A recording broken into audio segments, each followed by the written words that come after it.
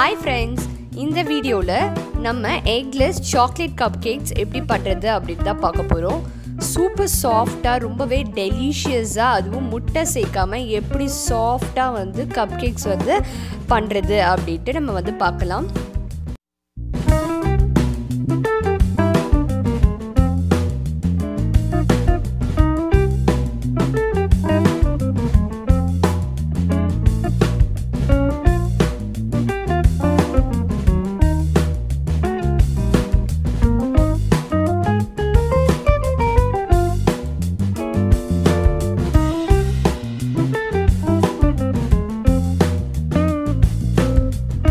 First cup cake பண்ணுறதுக்கு தேவையான பொருட்கள் என்னென்னு பார்த்துடலாம்.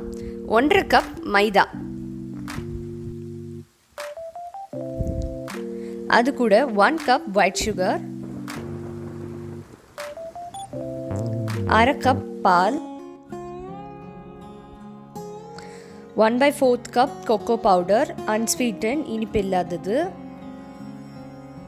One by three cup vegetable oil flavourless வாசனை இல்லாத எண்ணெயை சேர்த்துக்கலாம்.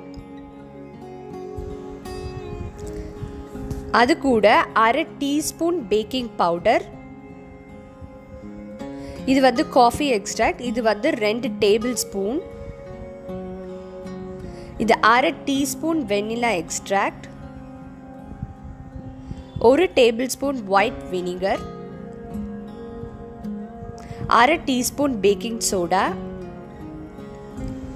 அரை டீஸ்பூனுக்கும் கம்மியான அளவு உப்பு. இப்போ எப்படி பண்ணுறதுன்னு பார்த்துடலாம் ஒரு மிக்சிங் பவுல் எடுத்துக்கோங்க. நல்லா அகலமாக இருக்கிறதா எடுத்துக்கோங்க. அதில் வந்து அரை கப் போல் பால் சேர்த்துக்கோங்க. இது நல்லா காய்ச்சி ஆற வச்ச பால்.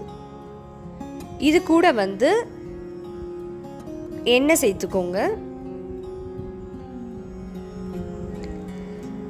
இது கூட வந்து வெண்ணிலா எக்ஸ்ட்ராக்ட் சேர்த்துக்கலாம். இது அரை டீஸ்பூன்.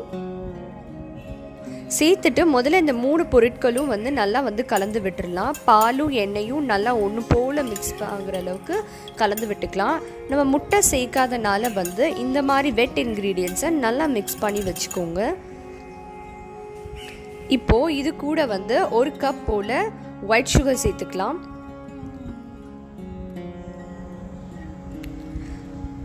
இதையும் நல்லா வந்து மிக்ஸ் பண்ணிக்கலாம். சர்க்கரை வந்து நல்லா கரையணும். கரையிற அளவுக்கு நல்லா வந்து விஸ்க் பண்ணிக்கோங்க. நம்ம வந்து பவுடர் சுகர் ஆட் பண்ண வேணாம். பவுடர் சுகர் ஆட் பண்ணிங்கன்னா அளவு வந்து மாறும். அதுக்காகவே நான் வந்து சர்க்கரை தான் எடுத்திருக்கேன். பவுடர் பண்ணலை அதை. அதனால் நீங்களும் இப்படியே வந்து ஆட் பண்ணிக்கோங்க. இப்போ வந்து பார்த்திங்கன்னா சர்க்கரை நல்லாவே கரைஞ்சிருச்சு. இப்போ நம்மளோட ட்ரை இன்க்ரீடியன்ஸ் எல்லாமே ஆட் பண்ணிடலாம். நம்ம இன்றைக்கி ஒன்றரை கப் வந்து மைதா எடுத்திருக்கோம். அதை வந்து ஜலிச்சு கொட்டிக்கலாம்.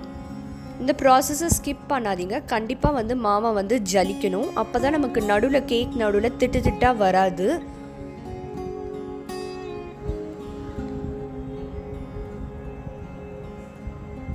இந்த மாதிரி நல்லா வந்து ஒன்றரை கப் மாவையும் வந்து ஜலிச்சு எடுத்துக்கலாம்.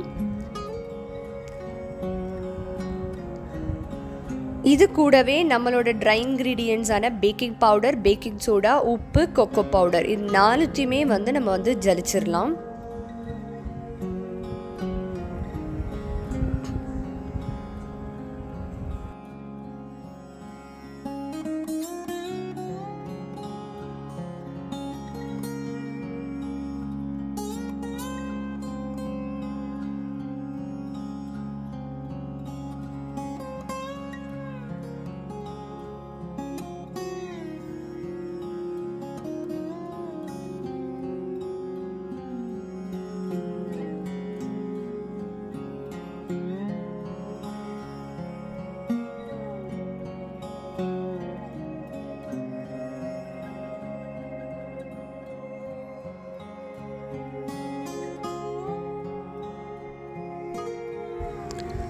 நல்லா வந்து மிக்ஸ் பண்ணிக்கோங்க.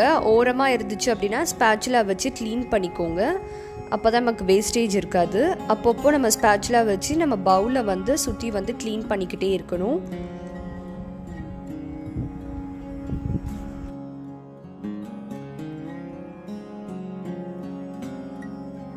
இந்த கன்சிஸ்டன்சி நமக்கு வந்துட்ட பிறகு ஓவர் மிக்சிங் வந்து பண்ணக்கூடாது. இப்போது இதுக்கப்புறம் இதில் நம்ம வந்து காஃபி எக்ஸ்ட்ராக்ட் வந்து சேர்க்க போகிறோம் ரெண்டு டேபிள் ஸ்பூன் சேர்க்க போகிறோம் அதுக்கு நம்ம வந்து அரை டீஸ்பூன் காஃபி பவுடரை ரெண்டு டேபிள் ஸ்பூன் சுடு தண்ணியில் வந்து நான் முன்னாடியே வந்து கலந்து வச்சுருக்கிறது தான் காஃபி எக்ஸ்ட்ராக்ட் அதை வந்து இதில் சேர்த்துக்கலாம். இது இன்னும் கப் கேக்குக்கு வந்து ரிச் சாக்லேட் ஃப்ளேவர் கிடைக்கும். இப்போ வந்து பார்த்திங்கன்னா நல்லா அந்த காஃபி எக்ஸ்ட்ராக்ட் ஈவனாக அந்த மாவில் படுற மாதிரி நல்லா ஸ்ப்ரெட் பண்ணிக்கோங்க. இந்த ஸ்டேஜில் இது கூட ஒரு டேபிள் ஸ்பூன் ஒயிட் வினிகர் சேர்த்துக்கலாம். வினிகரும் சேர்த்துட்டு நல்லா மிக்ஸ் பண்ணிக்கோங்க. முட்டை சேர்க்காதனால நம்ம இதில் வந்து வினிகர் சேர்க்குறோம். அவ்வளோதான் நமக்கு வித்தியாசம். முட்டைக்கு பதிலாக ஜஸ்ட் ஒரு டேபிள் ஸ்பூன் வினிகர் சேர்க்குறோம்.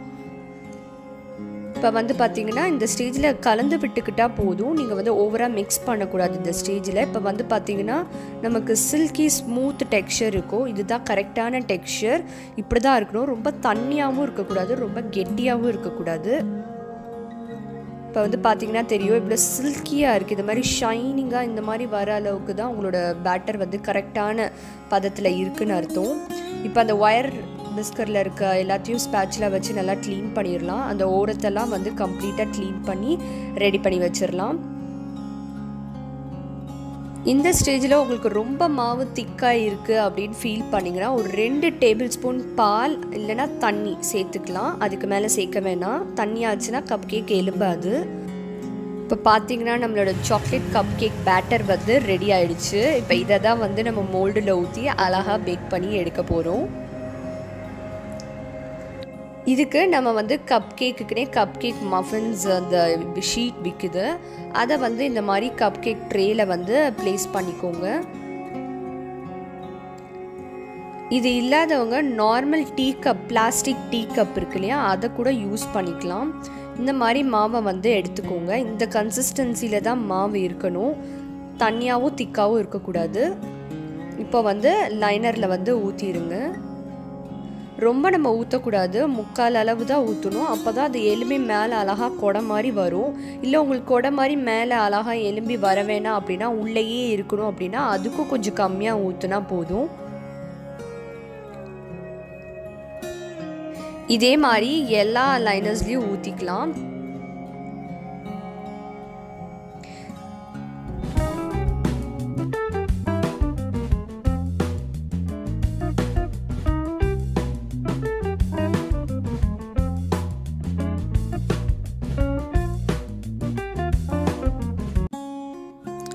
நான் ஃபஸ்ட்டு சொன்ன மாதிரி இந்த மாதிரி உங்களுக்கு வந்து மஃபின் ட்ரே இல்லை என்கிட்ட வந்து அந்த கப் கேக் மோல்டு இல்லை அப்படின்னா ஒன்றுமே இல்லை. நார்மல் நம்ம டீ கப் இருக்கு இல்லையா?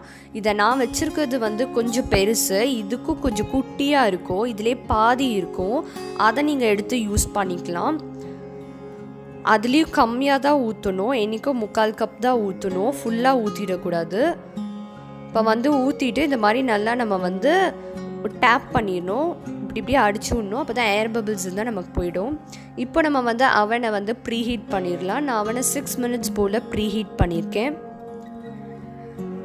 இப்போது சிக்ஸ் மினிட்ஸ் ஆயிடுச்சு. நம்மளோட கப் கேக்ஸை உள்ளே வச்சிடலாம். இப்போ பார்த்தீங்கன்னா ப்ளேஸ் பண்ணியாச்சு. இதை நான் டுவெல்லேருந்து ஃபோர்டீன் மினிட்ஸ் வரைக்கும் ஒன் எயிட்டி டிகிரி செல்சியஸில் பேக் பண்ண போகிறோம் இப்போ வந்து பார்த்திங்கன்னா அழகாக பேக் ஆகிட்டு இருக்குது நான் உங்களுக்கு காட்டுறேன் எவ்வளோ சூப்பர் சாஃப்டாக வருதுன்ட்டு நம்ம முட்டை சேர்க்க போகிறது இல்லை ஆனாலுமே நமக்கு எவ்வளோ அழகாக சாஃப்டாக ரொம்ப மாய்ஸ்டாக அந்த சாக்லேட் ஃப்ளேவர் ரொம்பவே ரிச்சாக இருக்கும். இப்போ வந்து பார்த்திங்கன்னா டுவெல் மினிட்ஸ் கழித்து பேக் ஆயாச்சு. இதை பார்த்தீங்கன்னா தெரியும். நம்ம வந்து சூடு வந்து ஆறணும். இதை எடுத்து வெளியே தனியாக வச்சிடலாம். கூலிங் ரேக் இருந்தால் அதில் வச்சுக்கோங்க. இல்லைனா தனியாக ஒன்றும் பிரச்சனை இல்லை. தனியாக எடுத்து ஒரு பிளேட்டில் வச்சு ரூம் டெம்பரேச்சரில் அதை கம்ப்ளீட்டாக ஆற விடுங்க. இப்போ வந்து பார்த்தீங்கன்னா தெரியும் கப் கேக் எவ்வளோ அழகாக இருக்குன்ட்டு. இது நான் முக்கால் கப்புக்கு கொஞ்சம் மேலே ஊற்றுறனால மேலே அழகாக பலூன் மாதிரி எலும்பி இருக்குது இதுதான் நான் ஃபஸ்ட்டு உங்களுக்கு சொன்னேன். இப்போ பார்த்தீங்கன்னா தெரியும் எவ்வளோ சூப்பர் சாஃப்டாக இருக்குது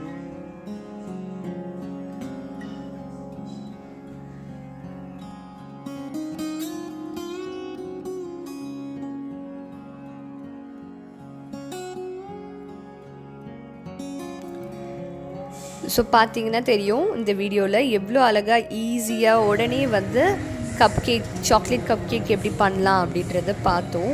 ஸோ கண்டிப்பாக உங்களுக்கு இந்த வீடியோ பிடிச்சிருக்கும்னு நம்புகிறேன் பிடிச்சிருந்தா லைக் பண்ணுங்கள் ஷேர் பண்ணுங்கள் சப்ஸ்கிரைப் பண்ணுங்கள் வேறு ஏதாச்சும் உங்களுக்கு டவுட்ஸ் இது இருந்துச்சுன்னா எனக்கு கண்டிப்பாக கமெண்ட் செஷனில் மெசேஜ் பண்ணுங்கள் நான் கண்டிப்பாக உங்களுக்கு ரிப்ளை பண்ணுவேன். தேங்க்யூ